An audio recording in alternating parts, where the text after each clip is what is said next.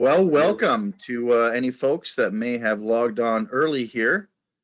Uh, my name is Jeff Jensen, uh, Field Coordinator, Program Manager with Trees Forever, and I'm here with uh, my colleague Brad Riphagen, who is also a Field Coordinator and Program Manager. And uh, hey, we're excited to uh, take you on a whirlwind tour of Prairie through the seasons. So um, just real quickly here, as we get more folks that log on, uh, we'll be giving you some instructions. Uh, you should be able to hear us, see us for now, and hopefully see the screen. Um, and if there's any issues that you can't see or hear us, uh, let us know in the chat box or the questions box. So those are the two ways that you can communicate with us.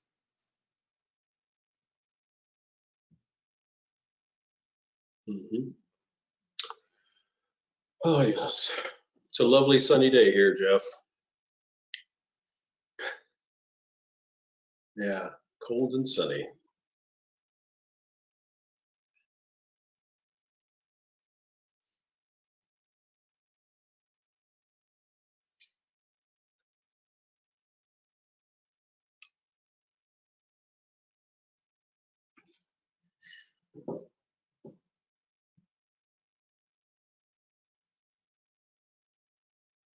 Well, Brad, should we take turns singing Christmas carols? Is the season uh, started? yeah, you start. I was going to defer to you. Yeah, exactly. That's why I said it first. Because it's, yeah, no, no, that's not a good thing. Not a good way to start this presentation, Jeff. Should probably have some sort of prairie tune or something. Yeah, good point. Good point. So, do you uh, put up Christmas lights in the whole nine yards, and uh, do you typically have you put them up yet? Oh, some of them. It's kind of a process. Sure. What's left? What's left is the tree, basically. So the tree is live, sitting in the garage in a bucket of water, waiting to go up. So purchase Well, that with the commend you. grandkids. Yeah. Commend you for a yes. live tree. Absolutely. Yeah. I mean, the frustrating thing for me, and I don't know what other people do, but me and lights putting on the tree is always the struggle. So Sure. Yeah. that's the one benefit I could see from an artificial tree. The smell of a fir of a fir tree is like amazing, and if I don't have that, I it's not Christmas. Amen. I agree. Yeah. So my uh, parents have used an artificial tree for more than a decade now, and um, we had a live tree growing up uh, as kids. But uh, as they've gotten older and not wanting to deal with all that, uh, they went to an Mhm. artificial one and one of these that had like fiber optic ends that light up, so you don't Oh, even yeah. necessarily have to put any lights on it on it either, um, which which is interesting. Um, and now it's at a point where there is no way my mother will give that up because she is going to milk every last ounce out of that tree because every year she comments, oh, this tree, this is year 15, 16, whatever it is, and it still works. And oh my goodness gracious. So who knows? Well, so but that's good though. At least she's not going out and buying a new one every couple of years. So That's true. And then for my house here, I just go out and um, I just uh, top off the top of one of the conifers, make a nice little short tree that's about three feet tall. And... Oh no, I'm kidding. go to one of the neighbors' windbreak trees. Is that what you're telling me? No, no, no. Because what's one of the golden rules? We don't top trees. However, Oh. I do have a couple of conifers that I'm in the process of removing um, some things on the farm here, cleaning up from a prior owner. And so, uh, like, full, I mean, I totally have limbed it all the way up to the point where all that's left is I have three of them. So, yeah. well, you probably probably need to open it up this the air around some of them if they're spruce. So Exactly. See, So, look at you managing for your your needs. but that's just it. What is the goal? What are your needs? And so Yeah. you manage according to those. So I am not trying to manage specifically for three to four foot Christmas trees that you can sit on top of your countertop or your uh, coffee table, but it just happens that Well- that's one of the results of that management. So and it would be difficult to see. So I have a 15 foot tall tree. I have to climb 10 feet to cut off my four to five foot tall. Well, when you have a tractor and a bucket, it really helps. so. oh, true. There, there's Oh, uh, OSHA's not on, are they? So it looks like we got some more folks um, uh, that are starting to file in here. Uh, welcome. My name is Jeff Jensen, uh, Field Coordinator, Program Manager with Trees Forever. Um, so you should be able to hear myself and certainly see the camera and the screen Prairie Through the Seasons. Uh, if you can't, the way to interact with us is through the questions or the chat box. Uh, so you uh, you can, should hear us, but we can't hear you uh, through the webinar. So if there are some issues, please let us know. Um, we'll try to troubleshoot as best we can. There is an alternative phone number for those that have trouble with their computer um, camera or audio. Uh, you could always call in as well. Uh, we'll be getting started in uh, about four or five minutes here as some additional folks filter in. Um, Merry Christmas, Happy Holidays. It's it's time. Thanksgiving's in the rearview mirror, so Yeah, definitely. Definitely strange. But we'll do what we can to keep the spirits up, right? it's for sure. Actually drinking apple cider, Jeff. There you go. Out of my Oh, Hawkeye very- cup. For those of you who are Hawkeye fans. Hey, it was a great weekend. We had two wins on Friday with Yeah. Iowa and Iowa State, and the old Vikings came from behind and really got her done too. So it was a happy Yeah, day in so- our household. Same here. Just for those of you poor people that don't know, Jeff and I kind of are the, the Viking fans on the Trees Forever staff. So And full disclosure, we looked at some of the participants and saw that most of them were from Eastern Iowa. So uh, without too many Western Iowa folks here and the threat of perhaps a Nebraska Huskers fan, we can talk pretty uh, joyously and boisterously about the Hawkeyes. Yeah, yes, we can. I don't think we have anybody from, let's see, who did the, wait a minute, who did Iowa State beat on? On Well, that was the Texas Fridays. game. Texas game, okay. Yeah, I don't think we have any Texas folks on, so.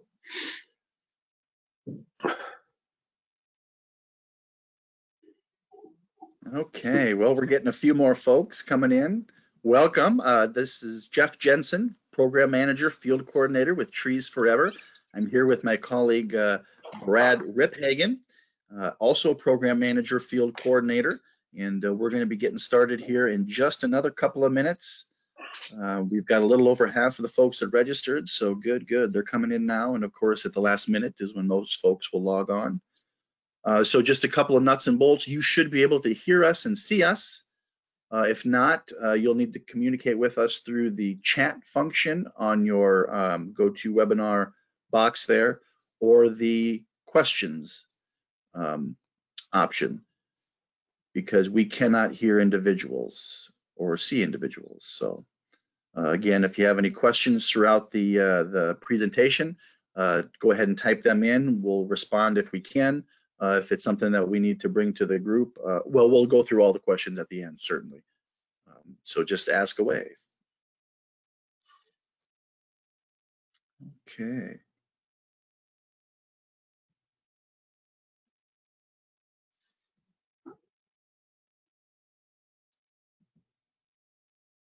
Couple more years, Jeff, I can do this Santa thing. Will you, does Santa come to Jefferson? No, I don't, if he does, I don't usually see him. I mean, he's kind of on the down low. He does sneaks his way in and sneaks his way out. man. Have the grandkids gone to see Santa or not yet? Uh, no, I don't know if they're gonna, I mean, well, plus there's, you know, does he wear a mask? Do they wear a mask? They're not gonna be going probably. No They've been playing Santas this year. Yeah, they've been playing it pretty Elf on the shelf. It'll have to be elf on the Yeah. shelf. I, s- yeah. They've been in the past, so, but this has not been this Santa. Okay, well, I have 12 noon, so I think uh, we'll go ahead and get started. I know that we'll have some folks that'll filter in. Uh, This is being recorded, so there will be an opportunity for anybody that misses uh, introductions and the such to come and and see uh, when they view it later. My name is Jeff Jensen. I'm a program manager and field coordinator with Trees Forever. I work up in Northwest Iowa, and I'm here with my colleague Brad Riphagen, who's also a program manager and field coordinator handling Southwest Iowa. So the Western contingency of uh, Trees Forever is, is here with you today. So I'm going to uh, be quiet here in just a moment. Uh, I just wanted to go over a, a few nuts and bolts. Uh, if you've been on the line or if you've been on with us for the last couple of minutes, you've probably heard this three or four times already. But just a reminder, you should be able to hear us and see us. Uh, we cannot hear you or see you. So if you have any issues, uh, please communicate with us through the chat function or the questions box. Uh, again, we're going to get started. Questions can be typed into the questions box. If it's something that we're in a, a spot where we can just ask Brad or, or answer it, we'll do that. Otherwise, uh, at any rate, at the very end, we'll go through all of the questions and be sure we get them answered uh, for folks. Uh, with that, Brad, I'm going to turn it over to you. Excellent. Thanks, Jeff. And I'm going to um, just do a quick introduction of myself. I know Jeff did a very good job. Um, but before I turn my camera off, just going to give you a little bit of reasoning, I guess, why is the Trees Forever folks talking about prairie? Um, so I know some of you have worked with us over the years and have uh, probably been involved with some of our programs that we have actually funded prairie planting. So it is something that we as a Midwest organization realize is a valuable um, valuable tool that we need to include in our in our uh, work that we do. And so we do a lot of a lot of work uh, through some of our programs with prairie plantings and uh, uh looking at existing and restored prairies. So um, this is going to be a, a, walk through the prairie uh, through the seasons, and so let's get it started. I'm going to get rid of my camera right now, and and uh, we will start looking at what we have as we move through the prairie and through the the year. And so initially we have a, a great shot of a landscape uh, prairie on our, our opening slide here. And you'll see a lot of the colors. This would be more of a, a midsummer type, mid to early summer type uh, shot. And so you see a lot of the colors that are showing up there. And we'll talk more about the plants that you're seeing here as we move along. So the first thing I'm going to put up here is spring. And what we're seeing are what look not so many lovely colors necessarily, but we have one of the main management tools that we uh, encourage folks to use on their uh, restored prairies or existing uh, remnants if they have them, and that is fire. And uh, I know many of you know that, but there are a number of reasons to do this. Uh, we have encroachment of woody plants that uh, utilizing fire does reduce their their vigor and pushes them back. And opening up a site, a prairie site uh, in early spring, uh, allowing the ground to warm up more quickly, allows the prairie plants to get a, a jump start and get going on the year. It also cycles uh, nutrients back uh, into the soil as well um, by taking care of some of that vegetation. So it's a it's a great practice if you can utilize it. Depending on your site, obviously there'd be constraints in terms of uh, whether you have uh, conflicts with existing structures or those types of things. But definitely a tool that we'd like to encourage use. This doesn't always happen have, have to happen in the spring either. For those of you who have prairies, uh, it can happen in the fall. Right now would be a nice time to burn, even if you can if you can get it done, um, and even a little bit earlier in the fall or, or late summer because it benefits different plants by burning at different times of year. So let's get into the plants what we have here is in, in our area is probably the first plant, flowering plant that shows up in our prairie species, our prairies. And that's the pasqueflower. And uh, you can see it here. It's a lovely early spring plant, shows up usually in March or very early April. Uh, it has a variation in colors from white to this lavender. And uh, many times, if there's snow, you may see uh, snow sitting next to it as it comes into bloom in the spring. So it's a a very nice plant to have and an early bloomer. Another couple of early bloomers and uh, one in particular that I, I am so happy to see when I get a chance to are the uh, puccoons. On the left, you have the uh, hoary puccoon, and on the right, you have the fringed puccoon. And if you can, you can see on the right, it has a long tubular uh, neck to the flower. And so uh, it, there's certain certain species of insects that can utilize that better than others, and so uh, there's a um, just a co certain cohort of, of insects that will be able to pollinate this plant. But it shows up early, uh, probably April, and the reason I like the one on the, the left so much is that's a color that must be certainly appealing to me. That orange yellowish color is, is uh, very striking, and I enjoyed uh, seeing that because it's not very common. Uh, and neither, neither, of these plants uh, get much more than a foot tall. So early early spring plants and not typically very tall because they don't need to be. They don't need to be outgrowing the grasses and so forth around them. They have that uh, open space. They have that sunshine hitting them, and uh, the grasses haven't overtopped them already. A couple more. Um, some of the blues that you're seeing, purples and blues that you'll see early in the spring are the prairie phlox and the blue blue-eyed grass. Um, it's not. It's not a grass. It is actually a, a flowering plant, but it uh, is called blue-eyed grass because the leaves have that grass uh, look to them. So prairie phlox, uh, again, great small uh, prairie plant. And if you have your own planting and you want to include some of the shorter uh, early blooming plants, it would be a great one to utilize.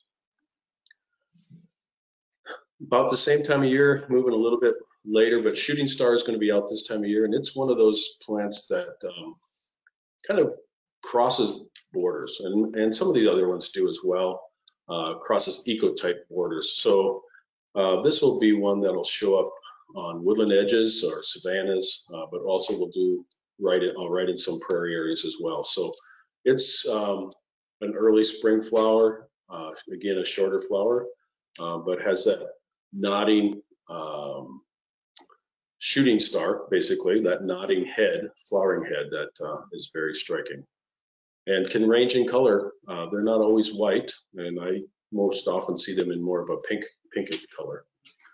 On the right, you see the purple prairie clover, which is one of the legumes that we find in our prairies. And, and actually, our prairies commonly have several different types of legumes in them, and uh, a great benefit for the prairie because uh, the nitrogen fixing that legumes do. And so this is one of those plants. Um, it'll start blooming um, maybe May, Mayish, and you're starting to you have that ring of purple flowers starting at the base of that flower uh, stem and and working its way up. So you'll have that ring working its way up to, to the top of the that flower, um, flowering stalk or bud or whatever you want to call it.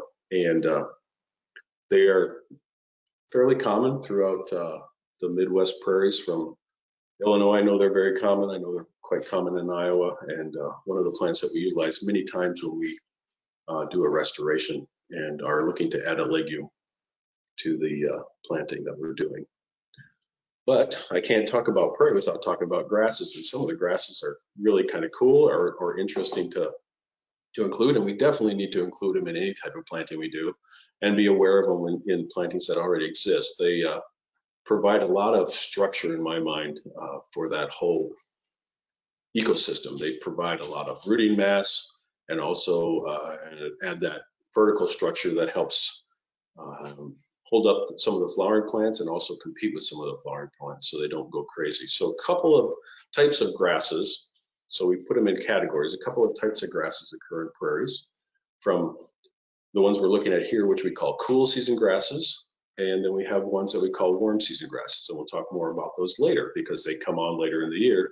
Cool season grasses are those types of grasses that start greening up early in the spring and will flower in uh, late spring, early summer, earlier than, well, obviously earlier than the warm season grasses, but they uh, start filling that niche or that area in the prairie, uh, greening up early and then putting out seed uh, in, in early summer. And so you have two of those here, porcupine grass or uh, there's also called a needle and thread grass. I think that this is porcupine though.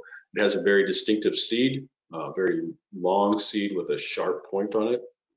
So may not be something you want to include if you have a lot of uh, small person traffic in, in uh, an area that you're planting, but it does have a very distinctive seed head, as well as the June grass, uh, as the name implies. You're seeing that bloom or that seed head forming in June. and another one of the cool season grasses that we find in our prairies. A third one is one that's probably more common and probably more recognizable to many folks is the Canada wild rye. Shows up a lot of, that we in our, a lot of our plantings and a lot of our, our native prairies. It comes on early, so say early uh, plantings, so the first two, three to five years, it's much more common and it'll, it'll continue and persist in a prairie for many, many years, but it is, uh, it tends to fade as the other grasses start coming on and out competing it. But it is um, very typical in terms of it has that rye or um, weedish looking seed head. And so uh, in this situation, typically you'll see them nodding off to a side, uh, arching over.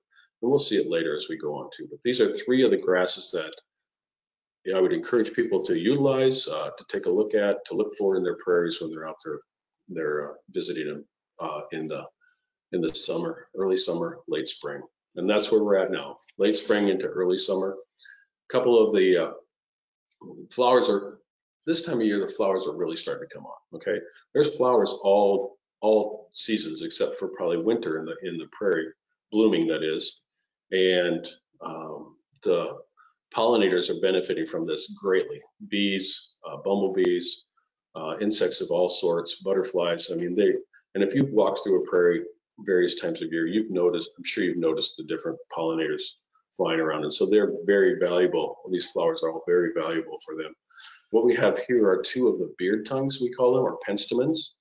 Um, and the white digitalis one on the left, which is a smaller flower, probably an inch to an inch and a half long. And then you have the large flowered beard tongue on the on the right, which is more of a purple or a light lavender which will have a, a flower that's probably two to three inches. Uh, that tube itself will be two to three inches. So very distinctive flowers, kind of fun to see, um, and it's and it's uh, a great asset in your prairie. All right, I'm going to talk a little bit about red, and we have a few flowers, um, two or three that I know of that are red in our prairies. Uh, this one is royal catchfly. Uh, it's a color that we don't often see in the prairies, and so it's uh, it really stands out uh, when you do find it. Royal catchfly, for those of you in eastern Iowa, Illinois, is more common in your area, uh, something that we typically uh, don't have out here in western Iowa, which is sad in a way, but that's the way things shake out. So um, royal, the the red is is quite spectacular, and it really draws. Um, again, the shape of the flower it's a fairly deep flower, and so it it needs to be pollinated by butterflies or even hummingbirds, which are attracted to the red color. And uh, is really kind of interesting that uh, it is um, found, or interesting that uh, those are the types of, of animals and critters that need to, to pollinate it, uh, and that it's specifically set itself up to do that. Um, on the picture on the left, I wanted to point out a couple things. This is obviously so we talk about gradations of different species showing up in the prairie from east to west a little bit. And what we're seeing here, this is, in my mind, is more of an eastern site uh, also because of, uh, you see the purple coneflower there, which is the common Echinacea purpurea, um, which is very commonly sold in the nursery industry, as well as um, you see it planted an awful lot.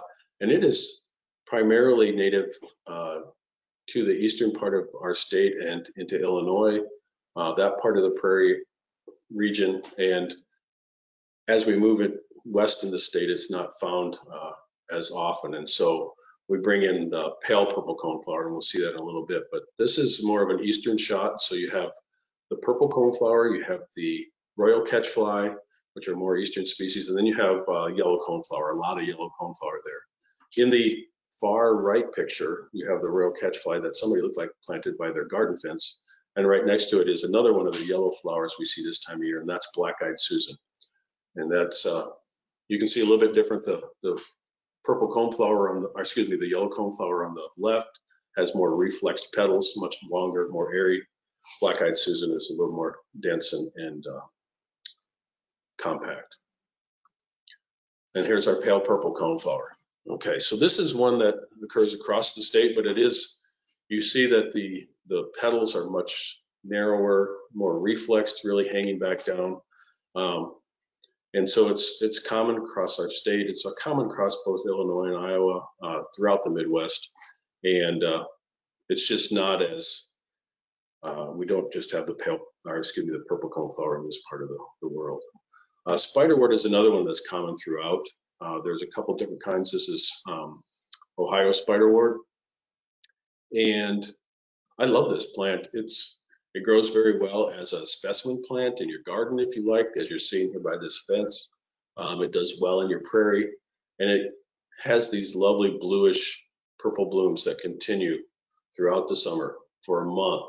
And they're not the same bloom every time. They, they put on a new bloom fairly regularly. And interestingly, as the, the heat of the day comes about, all the flowers will close up. So it's, it's um, a fun plant to watch and to include in your landscape.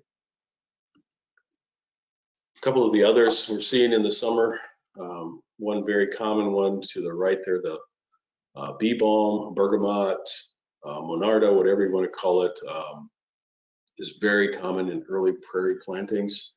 It is uh, well used by pollinators, hence the name bee balm, and it is a great asset for, for them in the prairie as well. One that is a little less known is the Monarda on the left, which is a Monarda punctata, and it is uh, found more in, in drier or sandy areas, uh, but is also native to this, this uh, part of the world. And um, both of these plants, they're mints. So um, you can tell that a couple ways when you're out there checking out plants in your prairie. They have square stems. So as you feel the stem, you'll feel that it's square, but you also, if you pluck a leaf and crush it in your fingers, uh, you'll get a, a, scent from them as well. So a couple ways to tell what this plant is. Uh, and it's just kind of fun to have something other than a visual cue uh, to determine what you're looking at, to have that scent to work with it as well. Now, we talk about prairies, we talk about diversity, and, and that's a very important thing um, in any type of planting from my perspective, because diversity allows for color changes, for blooming time changes, for height differences throughout the season, and, and different animals and different pollinators and and a variety of, of things benefit from those types of changes. And so what we have here are white, which is a common color uh, that we see a lot in the prairie. But there's three different plants and there are uh, three different uh, statures. So the, the one on the far left is a nodding onion. Probably only gets to be about a foot, foot and a half, maybe at the most in height. So it'll be lower toward the ground and it uh, is providing that white flower. Um, and actually has some edible parts to it as well. Uh, in the center there you have wild quinine. Um, another white flower with a, an umbel. See that flat flower um, head holding itself up there, and it is probably going to be in the three to four foot tall range. And on the far right, you have, uh, come on, white, the, the white baptisia, the white indigo, uh, and it is uh, going to have that flower stalk sticking up at least three feet, if not four or five feet. Uh, very spectacular in the prairie during the uh, early summer, midsummer, and it is uh, one, another one of the legumes out there. So it is also, again, another, another nitrogen fixture, fixture and is uh, providing that asset to our prairie as well. A couple more whites, just kind of more in a overall uh, prairie scene. One of the plants I that is very striking and um, memorable for me is the uh, rattlesnake master, and you'll see a couple of those here in the picture, but in the, the easiest one to tell is in the far uh, lower right-hand corner. That is the seed head, or flower head, I should say, of the rattlesnake master. And so it has a white flower. That ball is a whole cluster of flowers, and they're all blooming at this point, and it'll change to kind of a, a green brown as the season goes on, but it's a very striking uh, seed head that you see and we'll be able to notice throughout the prairie as the seasons change.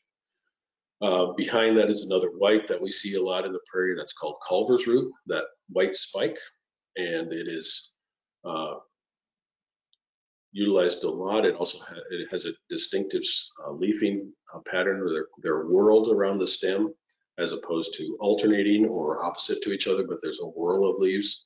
And so it's another distinctive characteristic to tell uh, what kind of plant it is.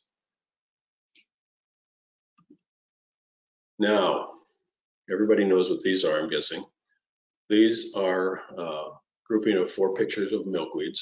and milkweeds have gotten a lot of press over the last few years, uh, simply, be, well, mainly because of the monarchish, monarch concerns.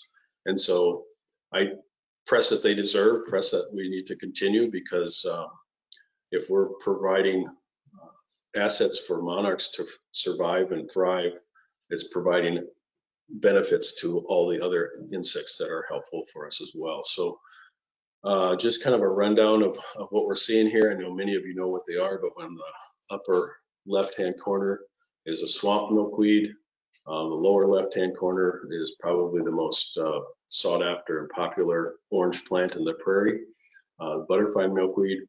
And then uh, on the lower right-hand corner is common milkweed, which you know very beneficial for monarchs, one of their favorite milkweeds. And then on the upper right-hand corner, I haven't actually identified exactly what it is. Um, yellow is not a common color for any of the uh, the milkweeds, although I know there are some cultivars out there that have uh, taken butterfly milkweed and uh, selected for the yellow cultivar. And I have actually seen butterfly milkweed in uh, uh, a prairie that was yellow, um, and it was a it was a remnant that was yellow. But the leaf on this throws me off, so I'm not certain if it's uh, if it's just the angle and it's and it's a butterfly and I just can't see it, but um, it could be another cultivar as well.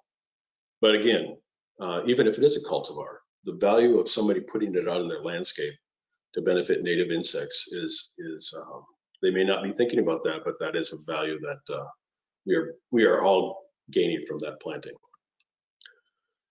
All right, so I've hit another color, and we're going to talk about a couple more of the the prominent um, prairie flowering plants that we have, and uh, a couple that are are you know many of you will know and things that we want to include in our prairies when we're when we're planting them.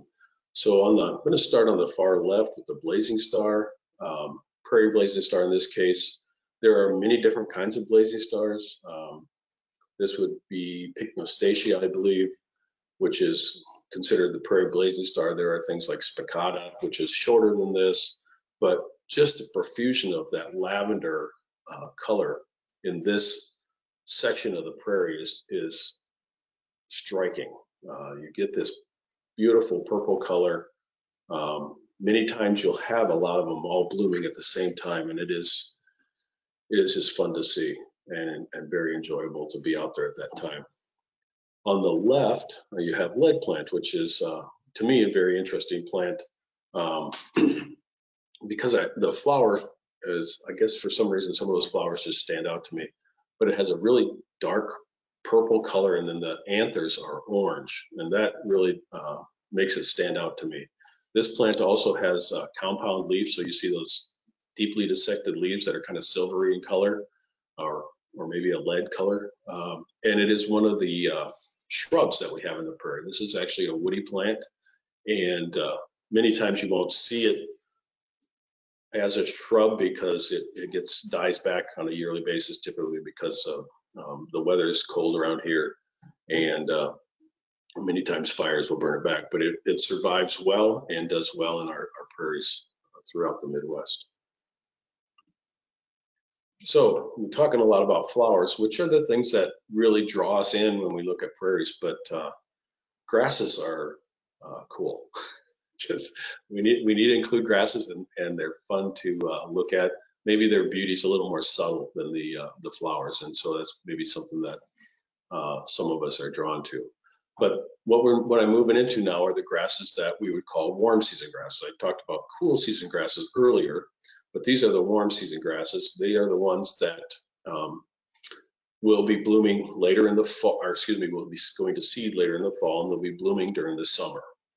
So um, they will come on later. A lot of times, well, at least initially when I started working with prairies, uh, they were promoted as a late season forage for grazers because they are adapted to uh, growing later into the season. So this is something to think about um, as part of your prairie planting as well. But what we have here are the seed heads of two uh, fairly common prairie plants, uh, C4 gra- or warm season grasses. The one is probably the most common, most well-known prairie grass uh, that we we talk about, and that's the big blue stem on the right-hand side, right-hand picture there. And you see that distinctive seed head, which many people refer to as a turkey foot, uh, has the multiple, looks like long toes sticking up in the air. And that is big blue stem. Uh, it is ubiquitous. I mean, it's when you talk about mesic prairies or common prairies, it is the, the grass that you would always always include in that planting mix because it is something that uh, was here and is here and is, very important to that that species mix. On the uh, left is a more um, subtle, let's say, grass, uh, much smaller. It grows maybe up to two feet uh, with the seed head, and that's side oats grama. And hence, you can see from the the way the seeds are hanging on the uh, the branch, side oats is pretty uh, characteristic are pretty, uh, I can't, words are hard sometimes. But anyhow, the thing I like about side oats is the fact that um, if you catch it right, it produces a little red flower out of each of those little uh, seed heads there. You'll have a little red flower. And for grass, it's a very attractive uh, flower and it's kind of cool to be able to, to find that in your prairie and to point it out to folks because everybody sees the big pretty flowers, but not everybody sees the grasses blooming. Another one of the, the warm season grasses that uh, gets used quite a lot simply be, for one of the reasons being that it is uh, very attractive and gets used uh, as a border planting or in more of a manicure type setup. As you can see, uh, prairie dropseed has a very fine um, mound of, of, leaves. And so it's very uh, nice to include in any of your plantings because it forms that soft look on the edge and a, and a nice distinctive uh, border to those types of plantings.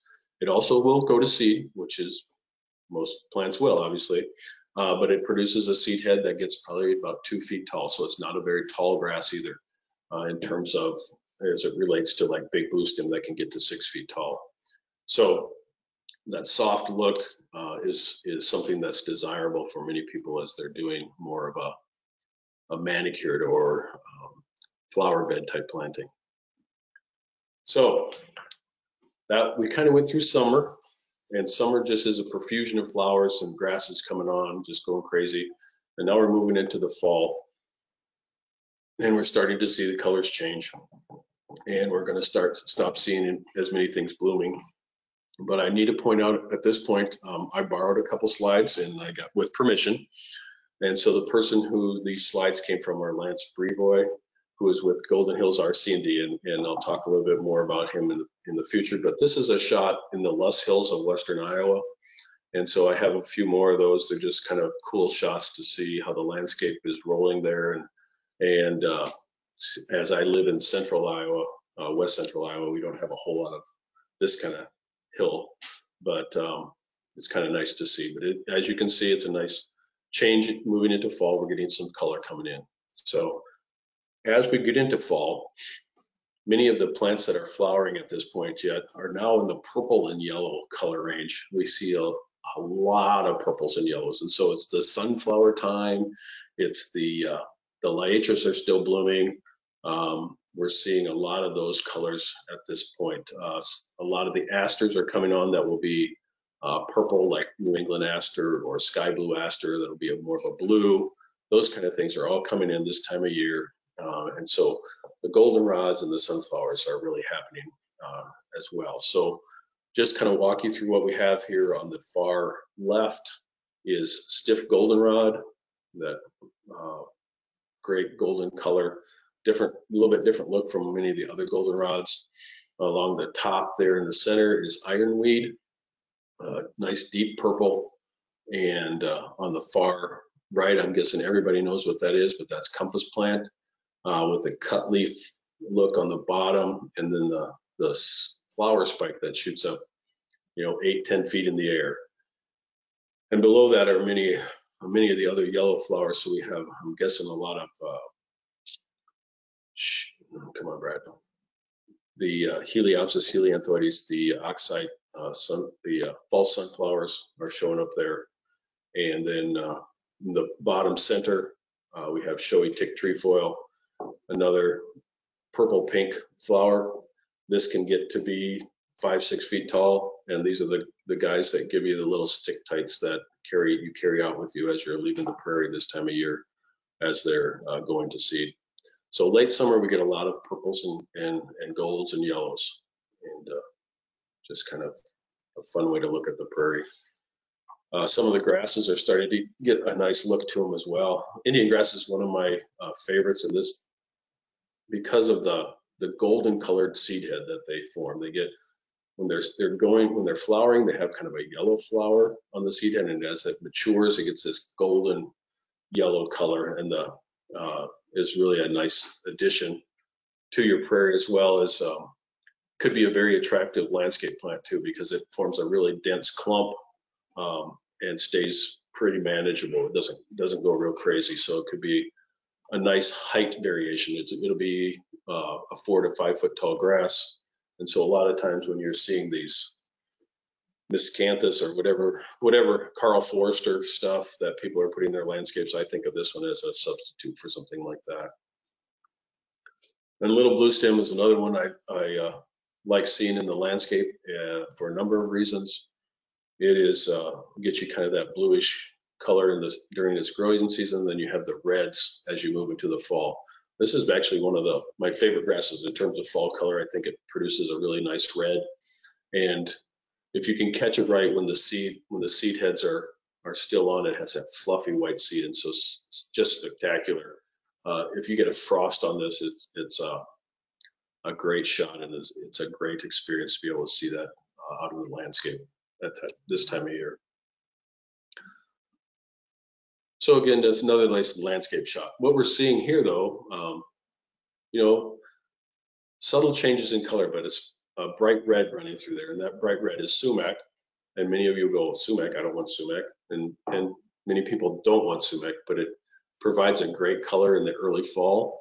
and as we move into into the winter, um, and as they manage this prairie, it may get reduced more and more because uh, if you're managing with a burn, it'll it'll continue to knock it back. But it is something that is native to this landscape, and so if you can manage it, it does provide a really nice fall color.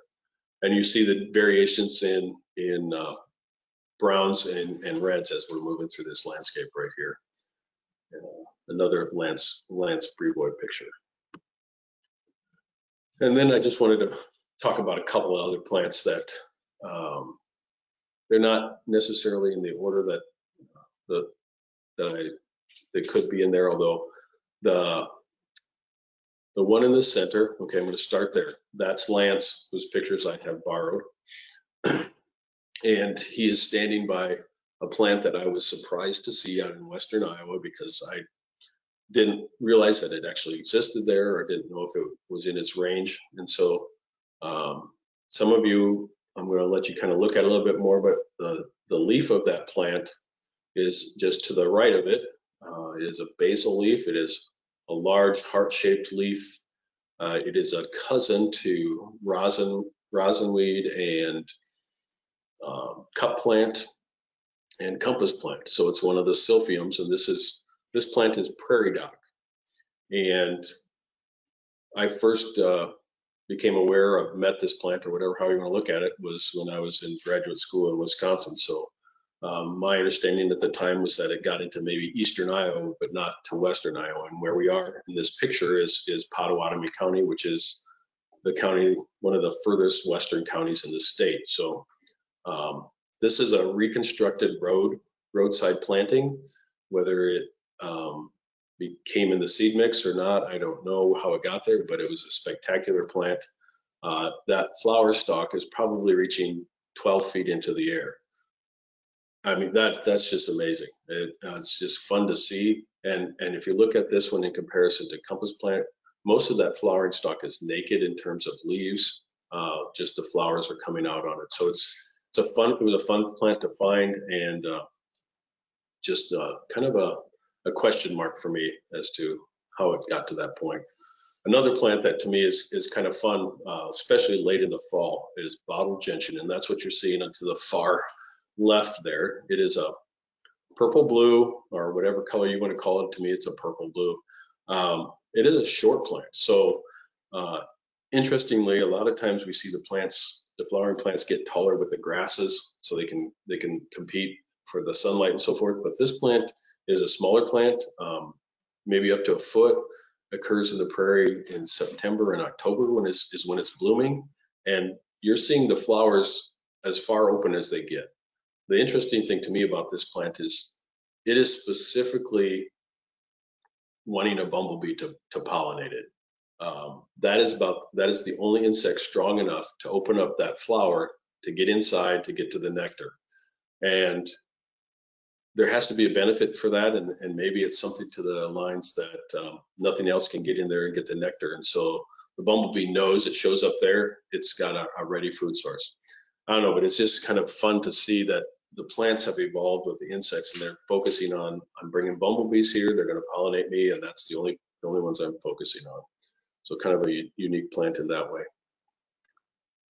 So as we all know, it's the end of no, well, actually it's December now, isn't it? So there'll be snow coming and there's frost in the mornings. And so um, if you have a prairie nearby, uh, sometimes you get to see these wonderful seed heads covered with frost or snow capped. And so what we're seeing over here on the left-hand side, I talked about the rattlesnake master earlier in the in the presentation here, and we're seeing it nice with a, uh, frosting on it in the winter. And very distinctive seed head again.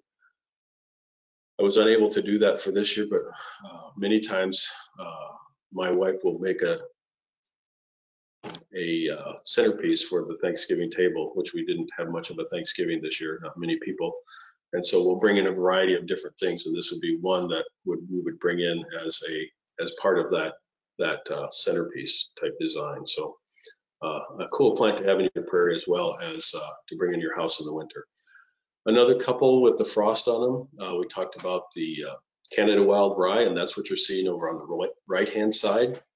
The uh, seed head basically without the seed on it anymore, but it has frost on it, which makes it uh, stand out and, and, gives it a lovely look right now. And then also a common goldenrod over to the left you know, things with frost on them just look cool. And so that's kind of what we're seeing uh, happening throughout the winter. So, so take the time to get out and take a look at these things, uh, especially on those mornings when you see there's a frost that has uh, hit the plants and, and go take a look at them and, and get some cool shots. So that kind of wraps up my talk. Um, I'm going to uh, hit a couple of things that we have coming up just to get just to get you thinking about them if you want to join us again, because we'd love to have you join us again. Uh, it's great to be able to do these things and, and uh, speak with folks, uh, get you be able to print, present some of these ideas to folks. So basically coming up in January on the 12th, we're doing another webinar again at noon uh, on creating a backyard buzz. So more discussion about how you could actually uh, plant these types of things in your yard and um, attract attract pollinators. And then uh, on January 26th, again, same time, we're doing a pruning workshop, or webinar, I should say, uh, trees and shrubs. And so uh, another opportunity to learn a few things about pruning. And this is a good time of year to start thinking about pruning right now uh, as we move into the winter and then into the spring. And then lastly, um, we have Stewards of the Beautiful Land again starting in May and June. Some of you may have been involved with that. It's a series of educational uh, trainings online and then uh, also outside events where we do uh, management, planting, and um, just visits to prairie areas and woodland areas to uh, learn the species. And so that picture you saw with Lance on there was one of those those nights that we did this past year. And just lastly, oh my gosh. So lastly, I just want to mention that um, we are, it is Giving Tuesday, and for many of you, uh, I know you do give to your charity of choice or your organization of nonprofit organization of choice, but I wanted to put it out there and say that there's uh, there's an opportunity for everybody to uh, be involved, and uh, I'd like to see um, folks take advantage of Giving Tuesday. And with that, thank you very much, and enjoy the winter as we move into another year. Hopefully, things start shaking out for us. But again, thank you all for joining, and if we have any questions, we'll get to that. I'll Thank you, Brad. Uh, Excellent presentation. Uh, So if folks have any questions, be sure to type them in the questions box for us. Um, If you don't have any questions, excellent. Uh, We have good students. So the quiz will be coming shortly. No, No, and, and, and I appreciate you, everybody being on. It's been wonderful. Uh, it's nice to see people involved and joining us, so. Gives me a chance to dig out all the prairie pictures too, folks. No questions, Well- Jeff? Not yet. The picture is worth a thousand words, that's for sure. Actually, check your questions box. Maybe because you're the presenter, they're going to you. Uh, I don't, I don't have any, so that's fine. That's totally fine. It was, my hope was that it was somewhat, you know, something you could do just to kind of chill over your lunch hour, so. Oh, I- we have a question that came through from uh, Jean. Hi, Jean. Uh, she said, we need to know where to get questions. Um, oh, here we go. Okay. Little red button on the far right side. Uh, Rachel. Hi, Rachel. Uh, Rachel says, I've been working on a small pollinator garden that has a lot of uh, these plants, but I found an invasive grass that came in with some compost. Do you have a recommendation for getting rid of it? Okay, Rachel, um, depending on how large your site is, um, and whether you can manage, how you can manage it, there's lots of things to think about. If it's next to, say, a building or a fence or something, I'm guessing burning is out. Um, so it may be a hand removal type thing. Or if you're, um, comfortable, uh, a small application of a herbicide, uh, broad spectrum herbicide maybe, but uh, you know, you might try just the, the hand management, depending on how large your site is.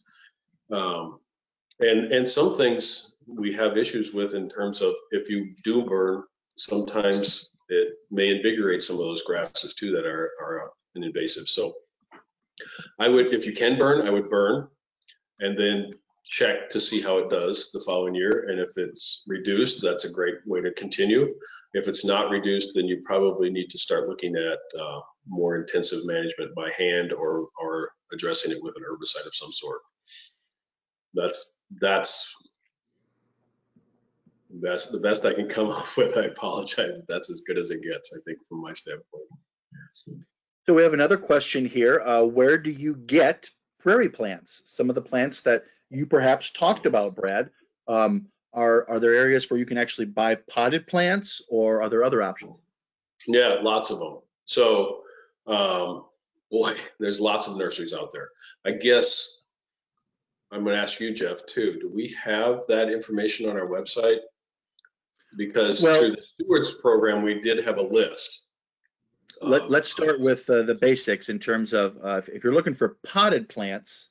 So Yeah. this would be in gallon pots. Uh, you're probably going to be limited. There's no doubt about it. There's there isn't a whole lot of retail places that will have a lot of these uh, native prairie plants. Now there are some native prairie seed dealers that also do some plugs or plants. Um, I Mhm. should have started off. Plugs is uh, pots are the biggest. As you go down, you can get plugs. So these are smaller uh, seedlings, uh, if I Like can use the thumb term. size. Yeah. thumb size. And then, of course, there's just direct seeding where we're going to spread that seed and let come up what may. Um, so plugs are going to be, would you say, more or less readily available from some of the native seed producers, Brad? Well, yeah, there's some that do a lot of plugs. So I, I think of some names and I'm not trying to promote anybody in particular, but I know Ion Exchange up in Northeast Iowa does a lot of plugs. So they're going to be in a flat of like 84 of thumb size type things. But I know there are other nurseries that do that kind of thing as well. I worked with a nurse, uh, uh, plant grower in central Iowa uh, just recently that did two inch pots. You know, there's there's a variety of different ways to get these things. I'm sure Prairie Moon up in, in southwest Minnesota does them well. Um, so some of the larger growers will do that. And actually some of the seed growers will actually um, contract grow things for you. So if you wanted certain things, they will contract grow out things for you. Um, what is- Incidentally, what Brad's referencing in terms of a document is um, uh, the Tallgrass Prairie Center puts out a list of contractors and then seed providers, producers. And so that document is on the Tallgrass Prairie website. We also include it in our pollinator uh, toolkit found on our Trees Forever website. Uh, if you were to do a search for pollinator toolkit, Trees Forever website, uh, you would come across a wealth of information, which would include the link then for the Tallgrass Prairie. But if you want to skip that step and just go right to the Tallgrass Prairie Center, that's fine as well. But that's where you could certainly find uh, a listing of those producers, uh, those providers, as well as contractors.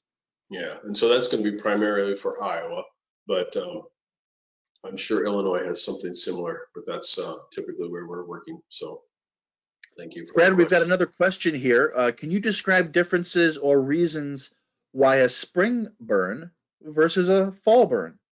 Okay, yeah, so um, spring burns, how is this explained to me? Um, spring burns tend to benefit, uh, let's see, what are we looking at? The grasses. There's, oh boy, I knew I should have looked this up a little bit better. Tom Rosburg, on a walk with him, it's like he is promoting things like burning late summer because it actually benefits, well, so for instance, so the early spring bloomers, if we're burning in the spring, it impacts them negatively, okay? So if you want to see more of the types of things like the pasqueflower, the phlox, the puccoons, those kind of things working in, if you planted them and you're not seeing them, maybe burning in the late summer or into the fall, uh, it's going to benefit them more because now you're not impacting them when they're starting to grow. And so that's um, one of the things that uh, he has talked about a lot is that many of our historic fires happened in the late summer and and fall because that's when we had lightning storms and so forth. And and so uh, changing up that regime of when you burn actually benefits uh, different cohort of plants that you're looking at on your prairie. So again, early spring bloomers, if you burn in the spring, it's going to impact them negatively. We had a comment here from Hannah Grimm. Uh, she mentioned, just going back one uh, question previous, check your local greenhouses as well for native plants. Uh, she purchased some gallon-sized native plants at a local mom and pop shop in North Sioux City. Uh, oh, we do have a couple Western Iowa folks here. Welcome, Hannah. So that's another great, uh, great answer there. You can sometimes find it at uh, your local, and of course, we'll want to shop locally if we can. That's for sure. Mhm. Another question here. Um, it looks like, do we have um, options for edibles for humans? Are there native edibles that we could grow edible for people? That is.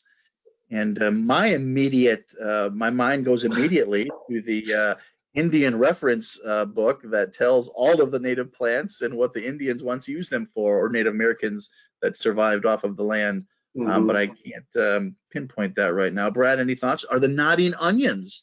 Uh, Yeah, they're edible. I think, I think you could actually use them like a scallion. Um, I don't know that they produce a lot of a bulb, but they do, you can use them like a scallion, uh, type thing. So cut up, uh, cut up the green tops. Um, there is, so the, oh God, Prairie Plants of Iowa books came out back, well, a long time ago with Dean Roosa and Sylvan Runkle. Um, and they have a whole section in each one of them about what the uses were uh, by the Native Americans or, or the pioneers as they came in. So there's there's a, a little section un- under each plant that talks about that use. And so if you can find something on that book, uh, it's wild. Uh, I think it's Wildflowers of Iowa. I think is the name of it. But it's uh, the the uh, authors were Sylvan Runkle and, and Dean Roosa. So I know that there's options out there to look these things up. Um, I don't have to, I don't, I don't know a lot about which ones are edible. I do know there's a nut that's edible that we can grow, uh, hazelnuts, but that's a whole different thing, Jeff. This is a prairie presentation, Brad. You're not going to get me started talking about nuts. So we've got another question here about an invasive, and so this is actually a pretty common question. So I think we should definitely take a stab at it. Um, Mhm. a specific invasive that they're struggling with is reed canary grass. Oh Uh, do you have any recommendations or specific treatments to eradicate it? Um, and notice that he used the term eradicate, which is a pretty high bar. Mm, Very high We can just bar. Manage or control is uh, something we might uh, be a first baby step. Well, I guess, oh my goodness, this is one of those tough, uh, crazy things. I would try to kill it over and over and over for a number of years before I planted anything. Um, and killing it, depending on how large of a patch size it is, could just simply be smothering. It could be, um, you know, putting this is probably not a great use, but if you have old carpet, you know, covering that site, up with old carpet, just kill it, smother it out. Uh, I've had people remove six to eight inches of the sod or the soil uh, because what you have a lot of times um, is even if you kill the existing vegetation, you have a huge seed bed or seed bank that's still there. So you still need to address that. So it's a number of years type of thing. Um, or you could try a chemical treatment. Uh, but many times these are in a wet area, and so you your uh, options are are smaller, um, and so you have to be aware of that as well. It's a very difficult uh, one to deal with, um, but it takes it takes persistence. It, I haven't seen anybody get rid of it after a year, and then know that it's probably going to come back because it's already in your region, and so there's many many seed sources, especially if you're along a, a wet uh, a river system or a stream system that uh, you get seed carried down uh, very easily. So once you have addressed that existing planting and this somewhat address the seed bank, you're still going to have some calm, I'm sure. But if you can get a vigorous planting in there of probably primarily native grasses is what I would look at because you're going to want to try to take up those sites that um, that the reed canary grass has been utilizing. So I would hit it hard with a heavy grass mix um, and, and work from there. Uh, you know, best you can. It's it's a tough one, and I don't have a definitive answer. Sorry. Well, I would just, um, my suggestion is, as Brad said everything right here, you could also just Google reed, controlling reed canary grass in Iowa. Um, there's a lot of great references in, in Iowa and in Minnesota. There's been a lot of research done on different herbicide treatments. Uh, sequencing is one thing that the, that's talked about a lot where we try to go in there with a prescribed burn and then come back with a glyphosate application or maybe a different herbicide application. Uh, I know some guys that uh, try to graze it as hard as they can to keep it in check, um, but it's it's really a multi-pronged attack. I think uh, when we're dealing with something like that that's just so invasive and so vigorous. So um, sorry we couldn't have a better definitive answer for you. But uh, Wouldn't that have be great? question. Do we, uh, we have a question about high forb content pollinator seed mixes also work well for pheasant and quail cover. And uh, as a pheasant hunter myself, the answer is yes. Uh, so what the, the birds are in there for is uh, certainly structure and habitat, but to eat insects and other things like that. So the more diversity we have in, in wildflower species, the more diversity we have in insects. And so um, those stiff stemmed forbs are great for quail and pheasant habitat as well. I concur. Well, someone asked here, um, in terms of some of these native plants, why do we always see um, garden centers carry mostly the common purple cone flower rather than the pale purple cone flower? Boy, very good question. I think, I guess it's been uh, selected, from my standpoint, this is what I see. This is just me speculating. Um, But from what I see, it's been bred and cultivated and um, selected to grow. It's more of a compact, um, showy type flower that you're going to find in, in most garden type plantings. I mean, they, they set it up so it grows maybe two feet tall and it has a really compact or a nice sized flower on top of that uh, with the seed head. So it's, it's very attractive, but it's been selected for that type of thing. Where pale purple co- coneflower, um, in my mind, maybe more of a, um, a taste thing. You're, you're just, you know it's valuable, you know it's great, but it has, it doesn't, it's not quite as distinctive and uh, showy as, as the purple coneflower. And so it's, it's as, as with many things in garden centers and tree nurseries and, and I'm not saying anything wrong, they need to move a product. And so um, something that's a bit more showy is gonna move better than, um, than a pale purple coneflower. But if you go to some of these natives nurseries, they're gonna definitely have it available. Because Excellent, is- excellent. Yeah.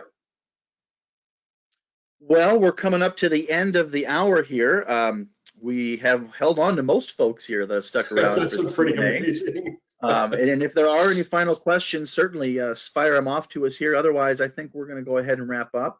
I just want to remind folks that this will be recorded and eventually will be uh, on our webinar library.